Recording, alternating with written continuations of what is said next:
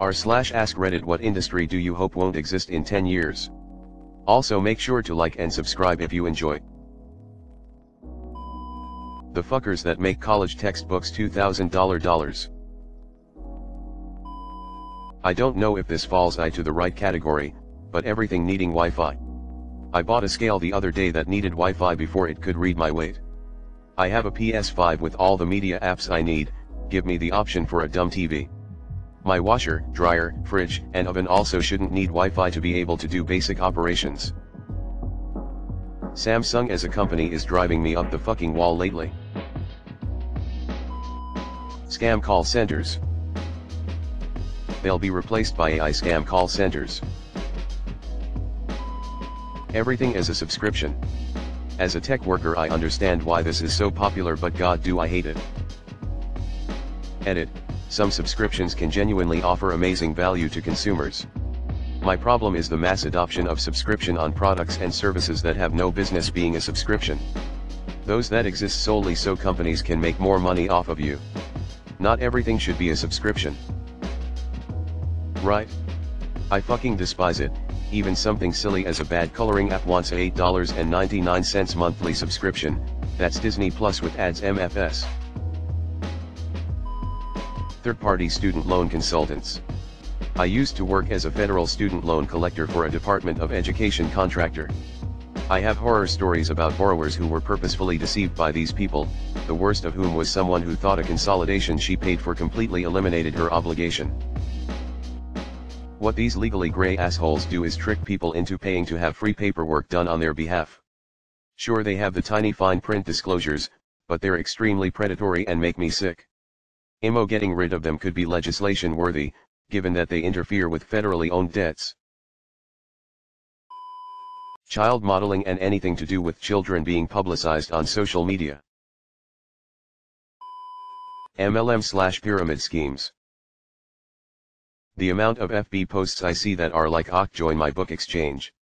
Send 6 books, get 36 back, OCL, variations include wine bottles, kids toys, etc.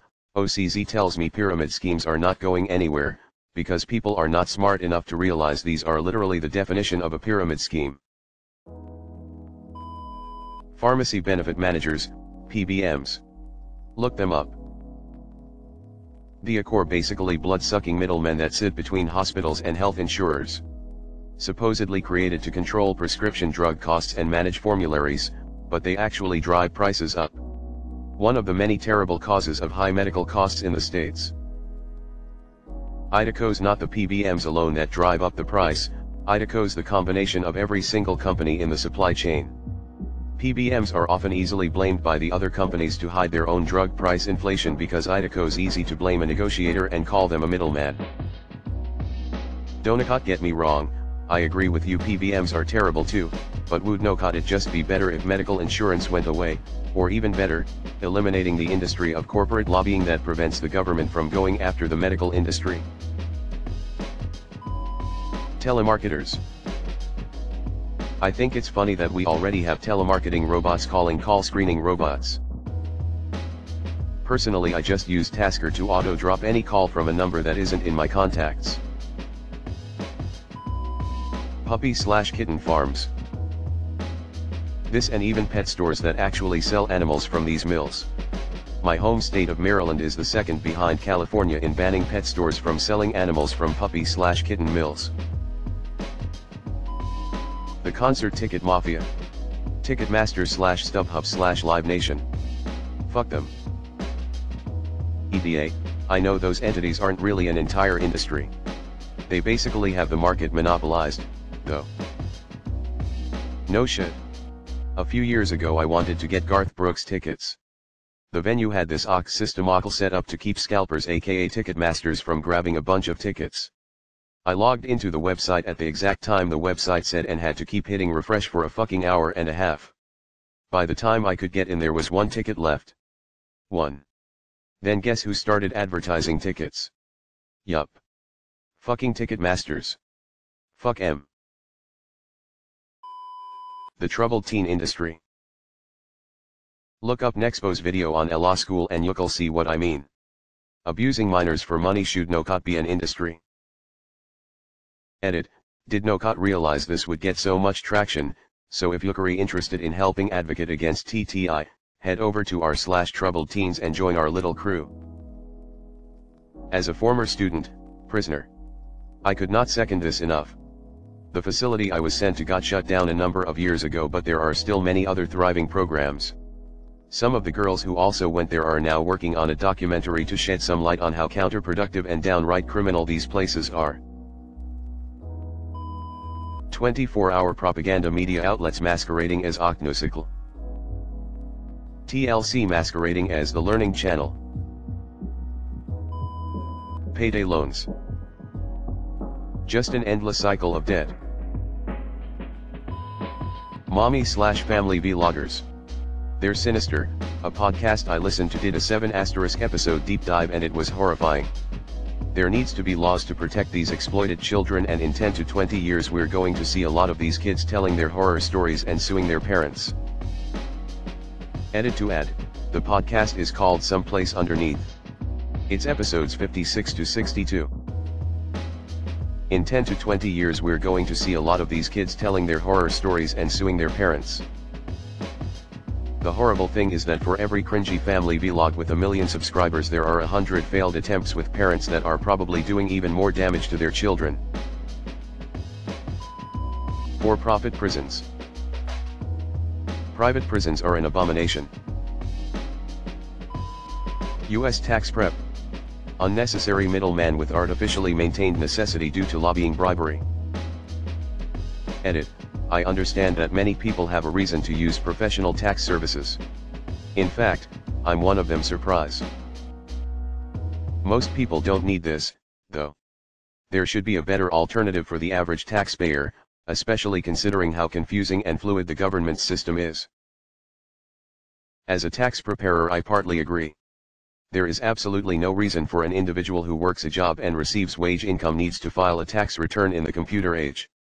Employers should be able to withhold the correct amount and everything is done. It would save the IRS paper and man hours and a lot of people a lot of frustration. It is done by plenty of other countries. People with rental income, self-employment income, and similar would still need to file a return. Oncology I think even oncologists would agree and we would happily retrain them in any other field of their choosing. Call scammers that steal from the elderly. Anything involving cold calling, or massive phone call farms pimping random? Shit. Edit, I did not expect 17k upvotes. Ha ha tie. I've been trying to reach you about your car's extended warranty. Fast fashion. Child beauty pageants are they still going? That. Not even Frank's Little Beauties?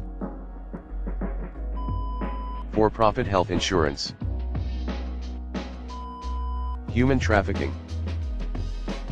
Looks back at history. Should I tell them?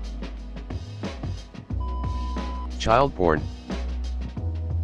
No matter the place it feels weird to upvote a comment that says child porn.